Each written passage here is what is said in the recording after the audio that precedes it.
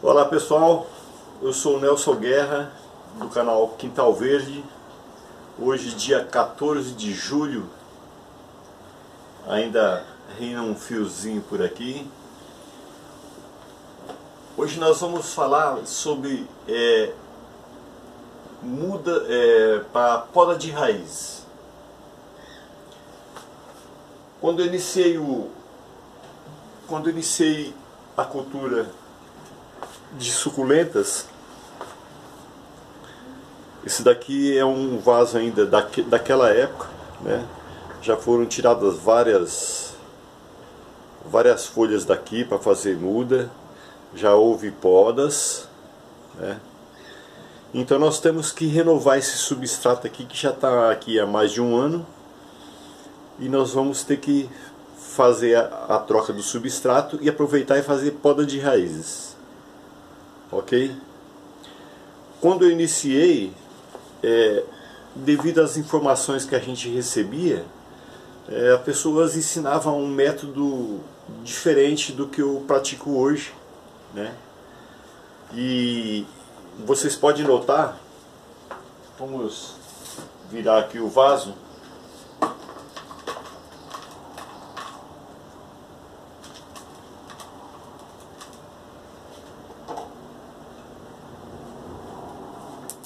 pessoas ensinavam a colocar manta acrílica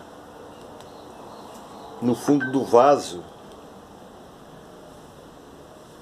É, hoje eu utilizo carvão, o, o biochar, o triturado. Né? O pessoal chama de munha.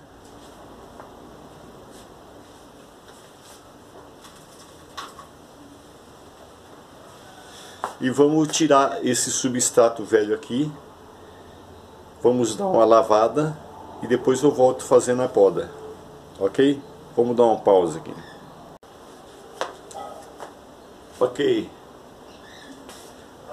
As mudas já livres do substrato velho, já lavadas, né? Vamos pegar a faca que já foi esterilizada. Note aqui que há raízes com tronco mais grosso aqui, ó. É, nós vamos fazer a poda dela aqui.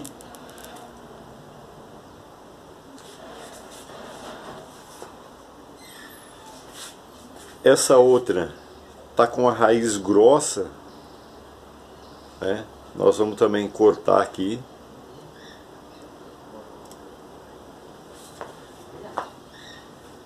Para quê?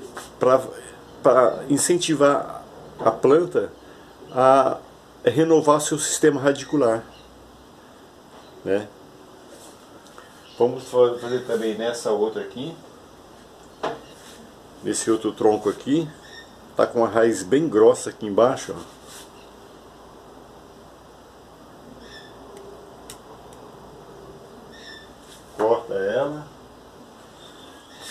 Essas maiores aqui pode ser cortada também.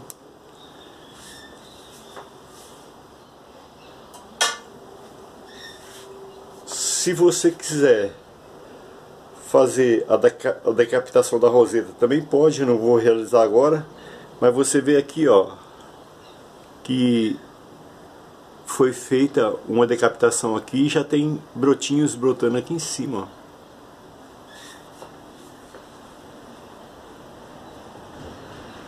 Eu vou renovar o plantio agora, porém é necessário, eu, somente para demonstração, porque é necessário que você deixe, como eu fiz é, o corte aqui na raiz, seria necessário você deixar um ou dois dias ele cicatrizar para você fazer isso aqui, ok?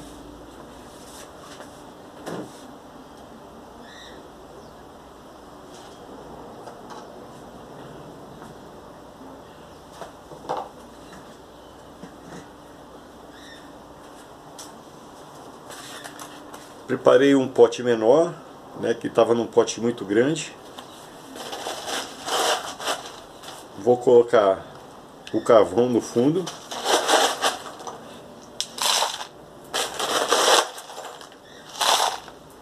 Já não mais aquelas aquele método antigo que eu utilizava de pôr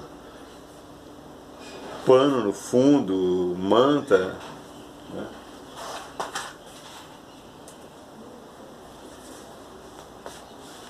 Colocar novo substrato.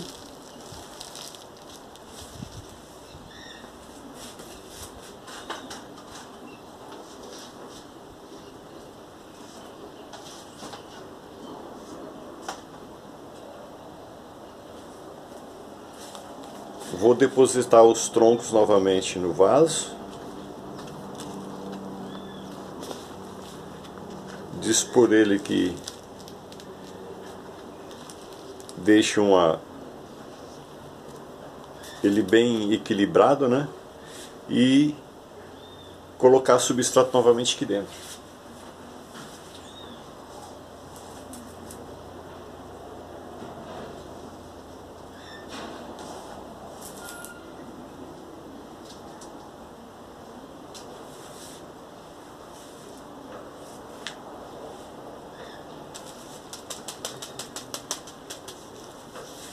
Ok. Já feita a poda e replantado a raiz novamente. A planta novamente. Se tivesse passado dois dias para cicatrização da raiz, eu já poderia aguar aqui, jogar água até sair no fundo do vaso aqui, até vazar aqui e voltar para o mesmo local que ela estava, no sol ok?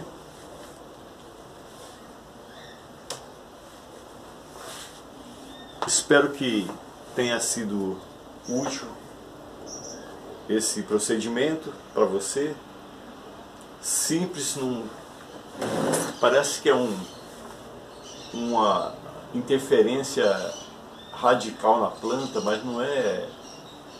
Pode ser feito, é, é benéfico a ela que ela renova a raiz, é, renova o sistema radicular e cresce com mais força, ainda mais quando você substitui o teu substrato, você readuba novamente ela. Ok? Então até o próximo vídeo, um abraço.